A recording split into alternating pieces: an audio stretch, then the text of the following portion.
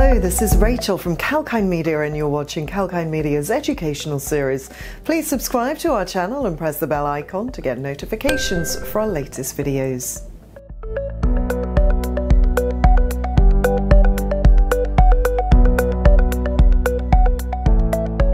Australia produced 328 tonnes of gold and earned $25 billion from gold exports in 2020.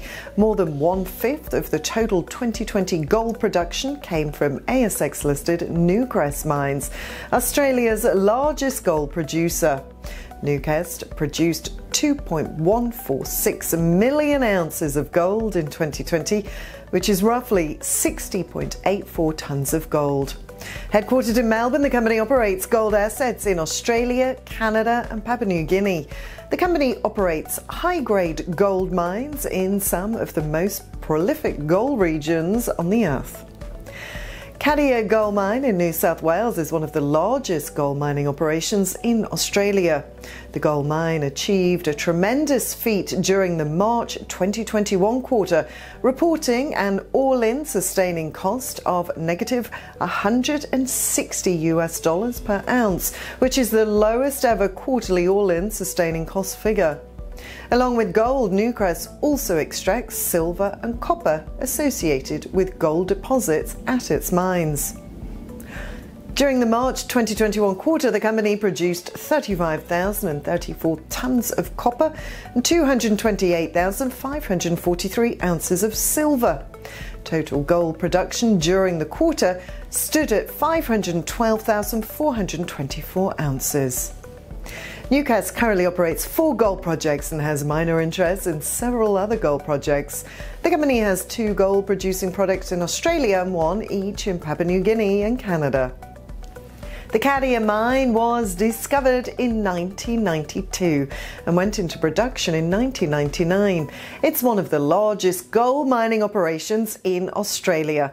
The mine produced 179,546 ounces of gold and 26,324 tonnes of copper during the March 2021 quarter. To extend the life of the mine, Newcrest is continuously exploring and developing the surrounding areas.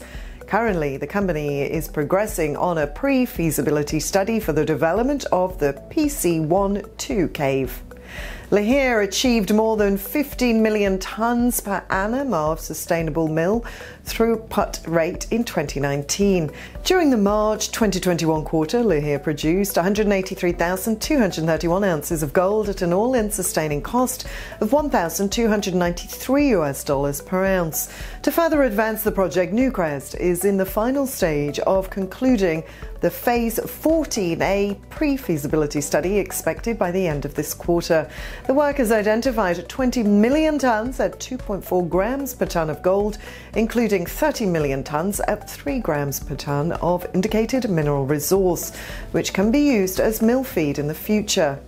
Telfer sits within the Great Sandy Desert of the Pilbara region in WA. The gold project produces gold from open pits and underground mines of Main Dome and West Dome. Newcrest extracted 105,228 ounces of gold and 3,666 tonnes of copper from Telfer in the first quarter of 2021. Telfer has potential for near mine gold prospects and polymetallic deposits. Newcrest holds a 70% interest in the Red Chris project, which is located in British Columbia in Canada. The company is undertaking a brownfield exploration program on the project. Red Chris has estimated and measured an indicated resource of 980 million tonnes at 0.41 grams per tonne and 0.38% copper for 13 million ounces of gold and 3.7 million tonnes of contained copper. During the March 2021 quarter, 11,000 ounces of gold and 5,044 tonnes of copper was extracted from the project. The recent drilling campaign at the East Ridge and Main Zone on the project tenement area continues to expand the gold footprint. Newcrest also holds a 50% interest in Wafi-Golpu, which is an advanced exploration project in Papua New Guinea and is in the permitting phase. Havieron is also an advanced stage project located close to the Telfer asset. The company operates the project in a joint venture with Greatland Gold. Newcrest can earn up to 70% interest in the JV. The drilling campaign during the March 2021 quarter intersected gold mineralisation in all seven drilled holes.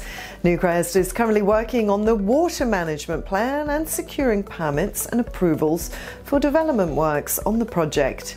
Meanwhile, back in 2020, Newcrest acquired a 32% equity interest in Lundin Gold, which operates the Fruta del Norte gold project in Ecuador. During the March quarter, the company realized a production share of 33,000 ounces from its 32% interest. Newcrest is investing heavily in developing new gold projects and increasing the life of the mine of the existing assets.